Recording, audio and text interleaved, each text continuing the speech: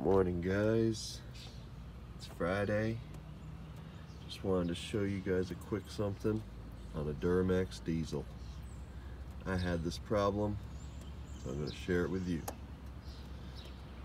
I couldn't find the barometric pressure sensor for the life of me.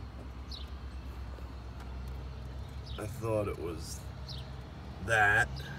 That's not the one I was after. Thought it was that. Think that's the boost regulator. But it ends up being that it's tucked down here under this switch. It mounts right to that piece of metal right there.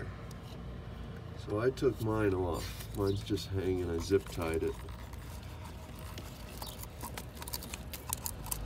But it looks like this. And no, it doesn't get a hose to it.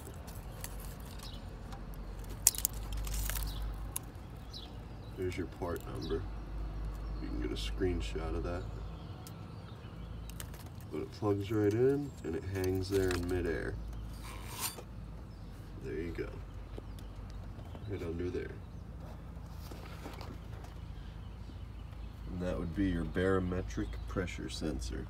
This one here is almost the exact same part.